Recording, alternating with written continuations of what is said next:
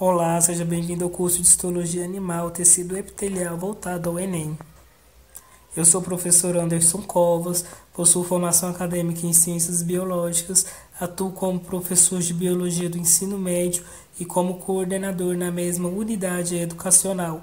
Executo pesquisas sobre a formação de professores e os processos de avaliação utilizados nas unidades escolares. Então vamos para a nossa aula, que é a pele humana.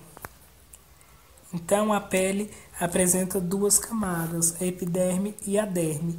A hipoderme ou tela subcutânea é uma camada de tecido conjuntivo frouxo que fica logo abaixo da derme. Ainda vários órgãos anexos, como folículos pilosos, glândulas sidoríparas, sebáceas ou penas, escamas e cascos. Então essa é a pele humana. O tegumento, maior órgão do corpo, é formado pela pele e anexos como unhas, pelos e glândulas. A pele desempenha numerosas importantes funções, como revestimento do corpo, funcionamento como barreira contra entrada de microorganismos, evita a perda excessiva da umidade, participa na regulação da temperatura corporal por meio de produção e liberação do suor e pela capacidade dos vasos sanguíneos da pele de dilatar-se ou contrair-se, o que aumenta e diminui respectivamente a quantidade de calor perdida para o ambiente. Ativa a vitamina D ao ser exposta a pequenas quantidades de luz UV, promove sensação relacionadas ao tato, calor, frio e pressão. E aqui a gente tem um esquema morfológico da pele, onde a gente vê os poros, a gente tem os pelos, a camada córea, a gente tem as glândulas sudoríparas, como acabamos de falar, as veias e artérias, a hipoderme, a derme, a epiderme. Então essa é a morfologia interna da pele humana. A pele é praticamente idêntica a todos os grupos étnicos humanos. Então, independentemente da cor, raça, gênero, a pele é morfologicamente idêntica. Nos indivíduos de pele escuro, os melanócitos produzem mais melanina que naqueles de pele clara, porém o seu número é semelhante. A pele é responsável pela termorregulação pela defesa, pela percepção e pela proteção. Então isso tem que ficar bem fixo na cabeça de vocês, que ela é responsável pela termorregulação, pela defesa, pela percepção e pela proteção. Então, ela nos protege das doenças, porém não é 100% eficaz. É bom lembrar isso também. Ela não protege de certas doenças, só que não é 100% eficaz, podendo deixar entrar larvas, esquistossomos e do acilostomo. Então, quais são os tipos de pele que a gente tem? Que pode ter. A gente tem a pele eudérmica, que tem superfície lisa, flexível, lubrificante e umedecida.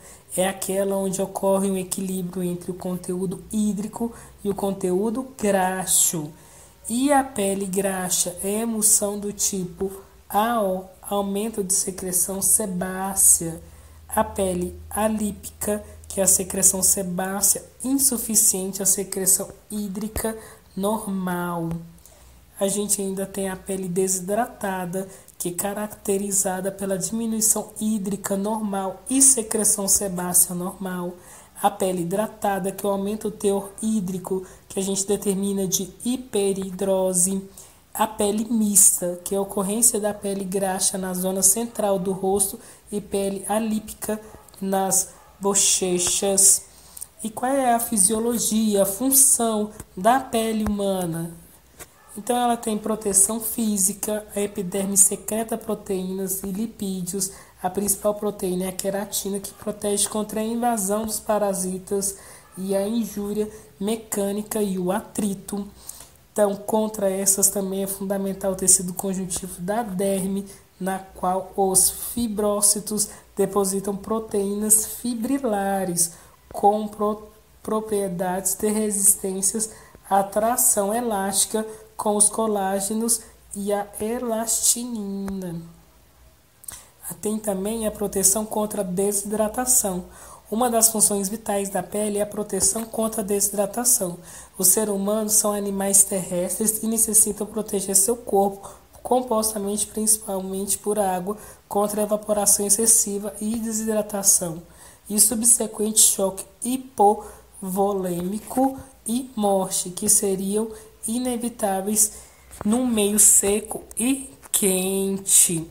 Então, para lembrar as funções principais da nossa pele, ela tem função de revestir o corpo, funcionando como uma barreira contra a entrada de microorganismo, evita a perda excessiva da umidade, participa da regulação da temper temperatura corporal por meio de produção e liberação de suor pela capacidade de vasos sanguíneos da pele dilatar-se e contrair-se, que aumenta e diminui, respectivamente, a quantidade de calor perdida para o ambiente.